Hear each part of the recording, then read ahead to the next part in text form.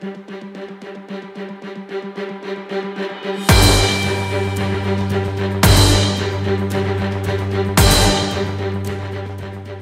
Então, primeiro que a gente está propondo aqui é a unidade de vários partidos, de movimentos que entendem a importância que tem defender a nossa democracia. Muitos já tombaram nesse país em defesa da democracia, religiosos, sindicalistas, intelectuais, é, militantes de movimentos sociais. Então, nós estamos num momento muito delicado e que nós entendemos que é necessário abrir esse debate com a sociedade.